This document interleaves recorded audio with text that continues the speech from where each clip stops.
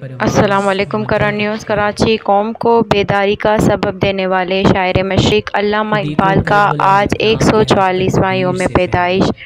کے موقع پر سابقہ district council west Peoples Party کے بنیادی رکن اور رئیس گوٹ کی سماجی و سیاسی شخصیت رئیس غلام سرور کا عظیم شخصیت کی یوم پیدائش کے موقع پر ان کو سلام و عقیدت پیش کرتے ہیں۔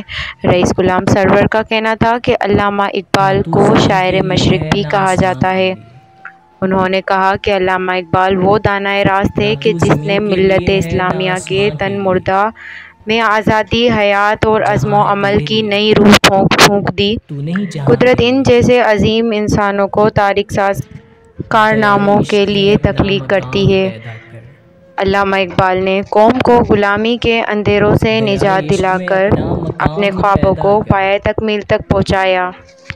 آپ قوم کے نوجوانوں کو شاہین کے روپ میں دیکھنا چاہتے تھے۔ کرن نیوز ٹیم کے ہمراہ سمیرہ صدام کرن نیوز کراچی وہ فیضان نظر تھا یا کہ مکتب کی کرامت تھی